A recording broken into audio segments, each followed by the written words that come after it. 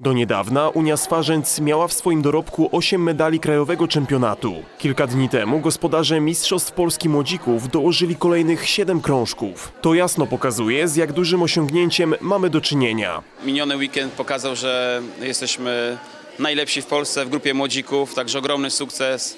E, Organizowaliśmy Mistrzostwa Polski Młodzików na stulecie naszego klubu, co podwójnie daje nam tutaj powody do radości, że właśnie w tym jubileuszowym roku udało nam się wywalczyć Mistrza Polski w Swarzędzu. Za sprawą świetnej dyspozycji Swarzędzanie zdołali wyprzedzić w klasyfikacji drużynowej m.in. drugiego Sobieskiego Poznań czy też trzecią Unię Racibórz. Ciężka praca. Myślę, że przede wszystkim to zaowocowało siedmioma medalami Mistrzostw Polski.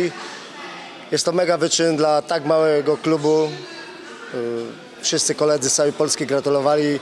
Siedem medali zdobyć na takiej dużej imprezie to świadczy o tym, że ten klub rozwija się prawidłowo. Sukcesy młodych zapaśników nie uszły uwadze władz Swarzędza. Na specjalnej uroczystości zawodnikom pogratulował burmistrz miasta. Członkowie klubu otrzymali specjalne upominki. Jestem dumny, szczęśliwy, że stwarzając warunki ci młodzi adepci tego pięknego sportu o ogromnej tradycji w Swarzędzu, no jest tak pięknie, e, mówiąc krótko, kontynuowany.